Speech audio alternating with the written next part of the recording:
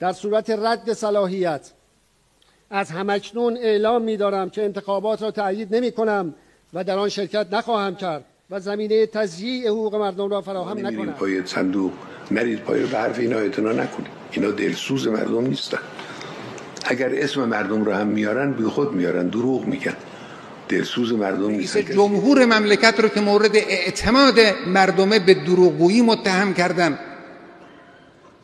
اینا خوبه؟ کارنامه های جعلی برای دولت درست کردن اینجا اونجا پخش کردن که ما که در جریان امور هستیم می‌بینیم می‌دانیم که اینا خلاف واقعه. شما ایشون اینجا دروغ میگه هیچ کس چیزش نمی‌گیره یخش نمی‌گیره. من اسم نبردم که. دارم صحبت می‌کنم و بر اساس اعتراض به این وضعیتی که ایشون به وجود آورده. دارم صحبت می‌کنم. اگه نبود که بنده که نمی‌خواستم که در این مملکت بیام دوباره کار کنم. هم کار فرهنگی خودم می‌کردن. ایشون مملکت رو کشیده به یه جایی که پر از دروغ پر از نفاق داره پرونده سازی می‌کنه.